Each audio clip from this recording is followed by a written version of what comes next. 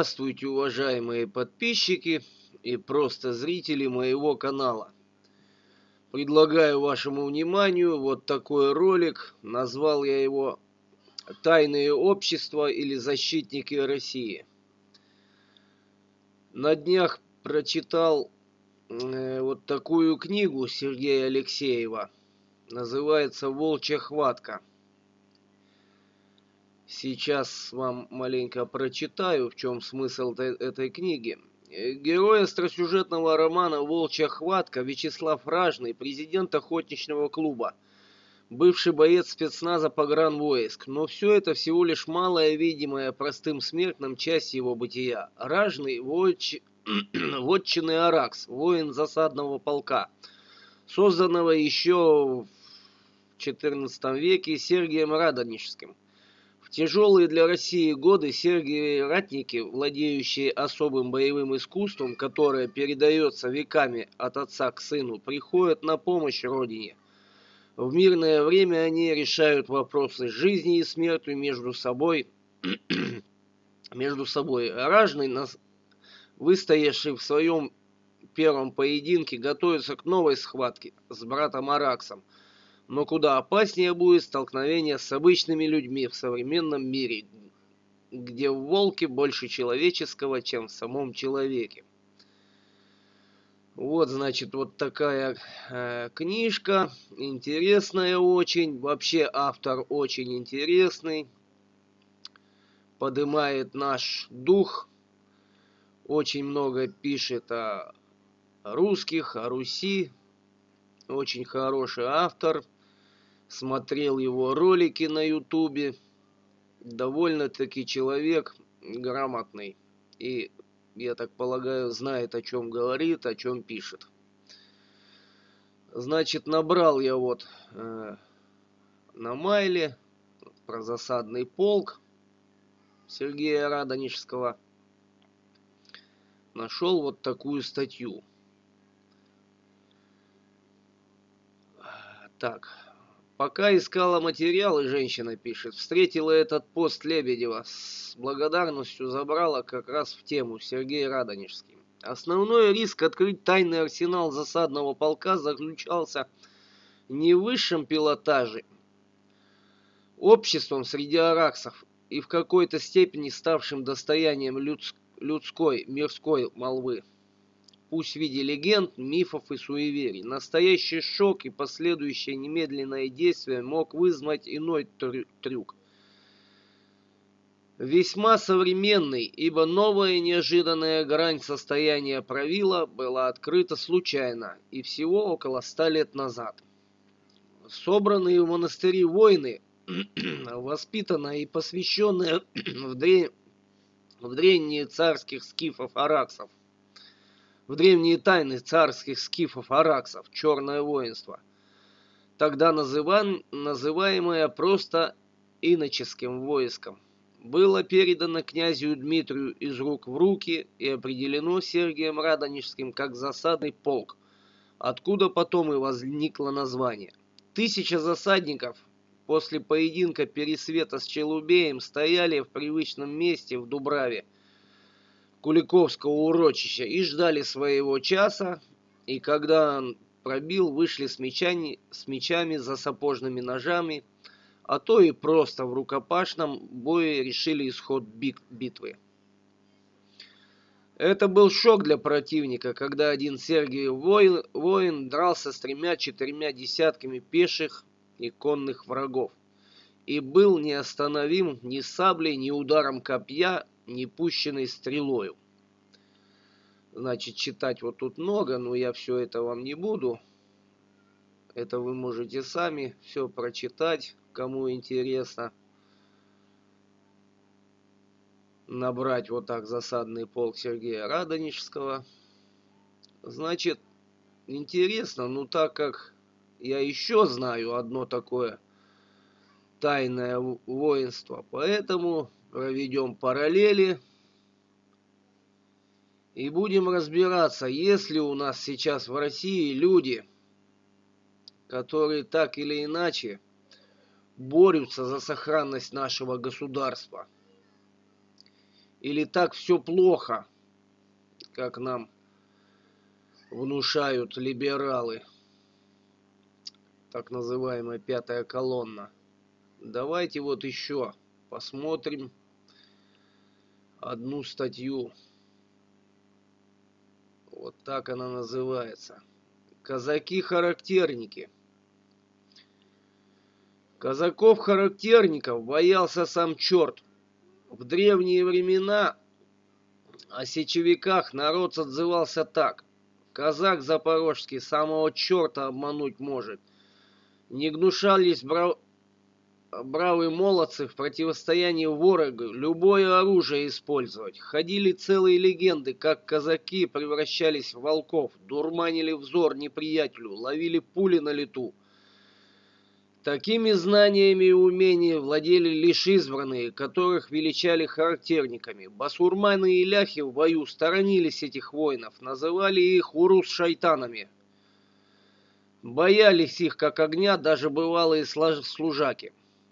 Казак-характерник, обладающий тайным знанием, умел оборачиваться в животных, моментально исчезать и появляться в разных местах заговаривать раны, находить клады, а ядра ловить полами своего кафтана. Сабля не рубит, да пуля не берет, ибо знает казак науку тайную, шептались в народе.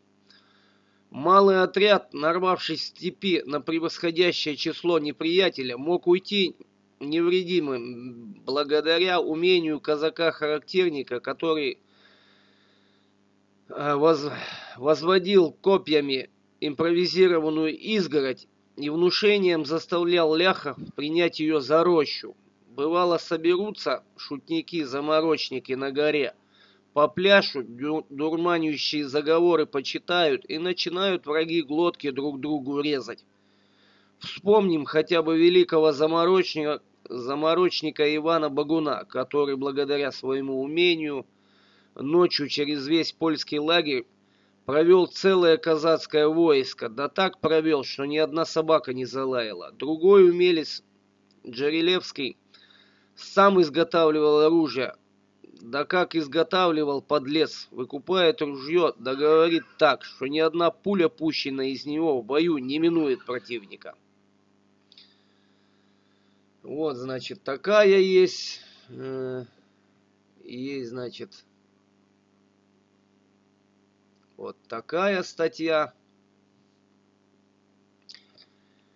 Везде описывается про характер. У некоторых есть у меня ролики, где я, значит, говорю, что я потомственный донской казак. Говорил, что знаю свои семь поколений.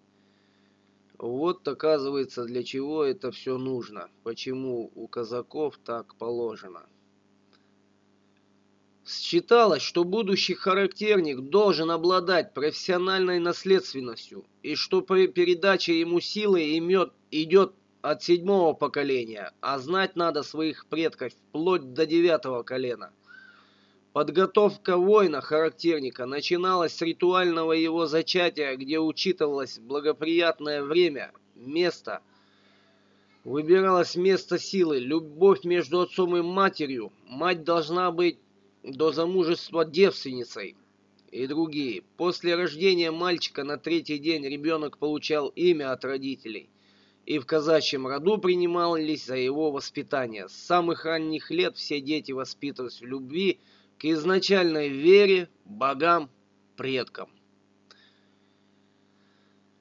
Вот, значит, э, можете поинтересоваться о характерниках. Вот такой вот сайт фамильный сайт Байда. Значит, все-таки на Руси, в России существуют эти самые тайные общества. Есть люди,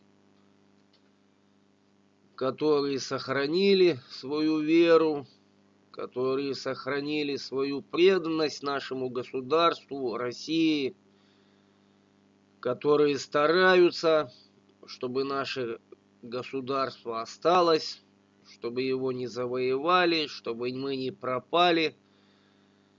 Сейчас я вам маленько Вот, значит, это об тех, кто хочет, чтобы наше государство осталось. Давайте теперь же перейдем, спусти, спустимся на грешную землю и посмотрим, кто на самом деле старается, чтобы наше государство, чтобы наше осталось, чтобы мы жили не завоеванные. Давайте, значит, посмотрим.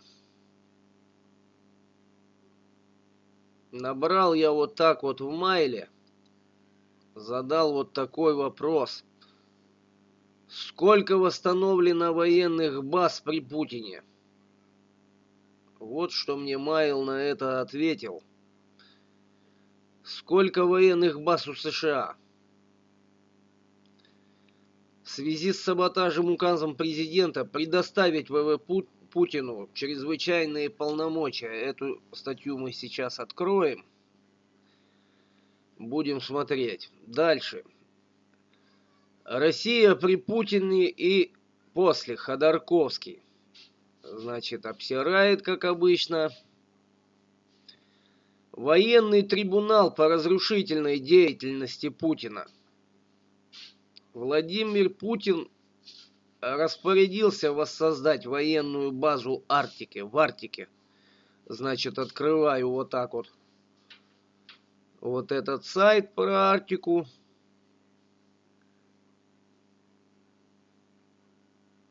А мне открывается вот такая. Доступ, оказывается, мне заблокирован. Хотя все, вот вы видите, закладки все работают. Все показывает. Но почему-то Майл не хочет показывать, как Путин распорядился воссоздать военную базу в Арктике. Окружена ли Россия американскими военными базами? Количество бедных при Путине увеличилось вдвое. Путин и Медведев жиды. Так, Владимир Владимирович Путин, Википедия. Э, новые военные базы за рубежом, кстати, тоже не открывается. Так, ну ладно. Давайте же теперь посмотрим, кто заботится о этом самом засаднем, о засадном полку, о нашей силе, о том, чтобы мы оставались с зубами, чтобы у нас была настоящая волчья хватка. Вот посмотрите открыл вот такой сайт. Военные училища и кадетские корпуса России. Кадетские корпуса, это имеются в виду военные, казачьи корпуса. Вот это вот Ставропольский край, Краснодар, это все казачьи корпуса. Вот смотрите, пожалуйста, сколько их встало как наш президент восстанавливает наш засадный полк, восстанавливает нашу обороноспособность, кто заботится о нашем государстве. Вот посмотрите, сколько их. Ужас. Сотня. Екатеринбург, Санкт-Петербург, Московская область, Татарстан – Тверская, Ульяновская, Приморский край, Владикавказ, Санкт-Петербург, Якутск. Э, это где? Так, тут не написано. Москва, наверное. Саратов, Пенза, Оренбург, Нижний Новгород, Новосибирск, Иркутск, Барнаул, Свердловская область, Москва, Москва, Москва, Москва, Москва.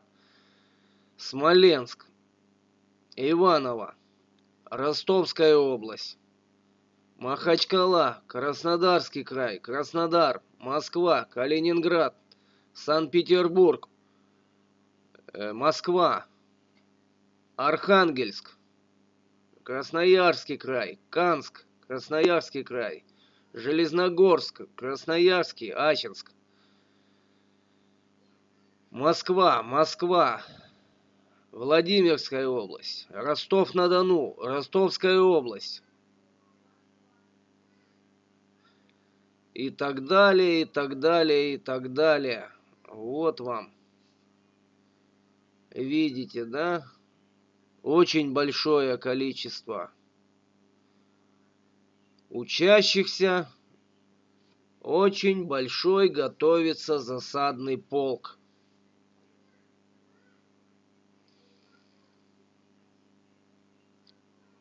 Так что, ребята, о нашем президенте думать можно всякое, слушать можно всякое, но сами вы должны для себя сделать выводы, посмотреть, сколько наш президент сделал для страны, какую он взял ее после Ельцина и что у нас получилось. А вот, значит, я вам открываю вот этот сайт.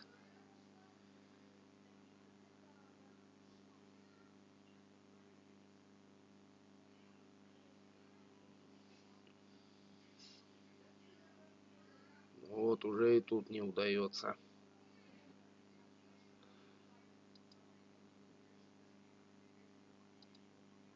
Еще раз попробуем.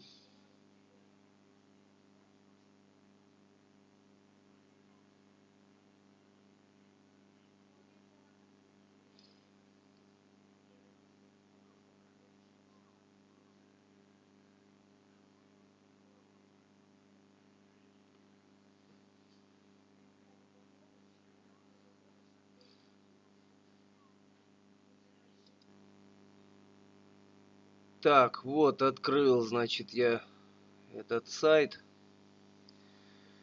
В связи с саботажем указов президента предоставить ВВ Путину чрезвычайные полномочия. Россия находится в состоянии войны. Россию пытаются удушить оружием экономических санкций. Значит, вот. А вот о чем я говорил, давайте посмотрим вместе, что он наделал. За 12 лет Путин увеличил бюджет России в 22 раза, военные расходы в 30 раз. ВВП в 12 раз. Россия перепрыгнула с 36 места в мире по уровню ВВП на 6 место. Увеличил золотоврезервные резервы в 48 раз вернул 256 месторождений полезных ископаемых в российскую юрисдикцию, осталось вернуть три. Разорвал либеральные в истории соглашения о разделе продукции. Национализировал 65% нефтяной промышленности и 95% газовой и многие другие отрасли. Поднял промышленность и сельское хозяйство. Россия уже пять лет подряд занимает второе и третье место, место по уровню по экспорту зерна, обогнав США, которые сейчас на четвертом месте. Увеличил средние зарплаты в бюджетной сфере в 18,5 раз за 12 лет, а средние пенсии в 14 раз. Ну и уж совсем мелочь. Путина, Путин, именно он снизил вымирание населения России с полтора миллиона человек – до 21 тысячи. То есть в 71 раз. Кроме того, Пунин отменил Хасавюртовское соглашение, чем отстоял целостность России. Придал огласке НКО пятой колонны, запретил депутатам иметь счета за границей, отстоял Сирию, прекратил войну в Чечне, погасил огромный внешний долг, около 400 миллиардов долларов провел лучшую в мировой истории победную Олимпиаду, вернул Крым. Вот, значит, хотите верьте, хотите не верьте, Ну вот это вот, от этого...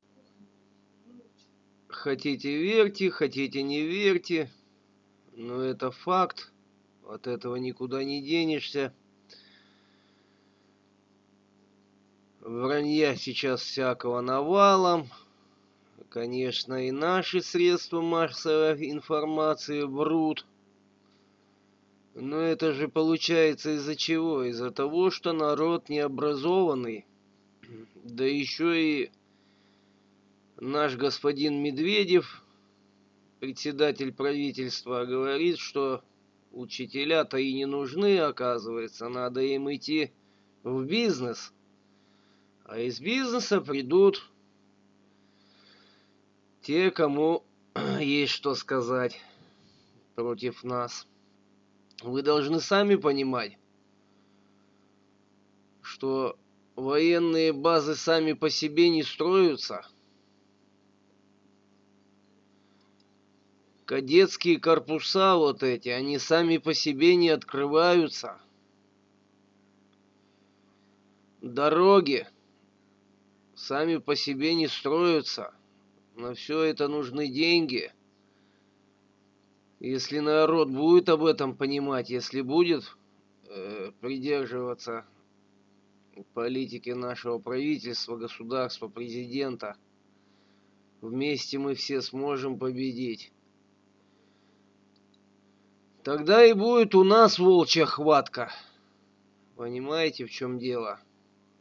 Тогда мы будем с рублями ездить по, вс по всему белому свету. А пока, извините, обсирают все, кому не лень.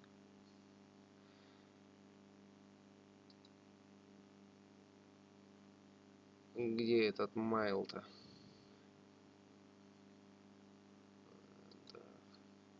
Ну ладно на этом ролик закон... заканчиваю. До свидания. Смотрите, интересуйтесь. Самое что интересное, как президент стал у нас более-менее вразумительный, стал делать что-то для страны, так и говно полилось на него со всех щелей. Как был алкаш, распродал всю страну, развалил всю армию. Все нормально. Никому такой президент не мешал. И денежки делали все. Хорошо, вывозили, вырывали. Ну ладно, до свидания. Заканчиваю на этом. Спасибо за внимание. Смотрите мои ролики. Интересуйтесь историей. До свидания.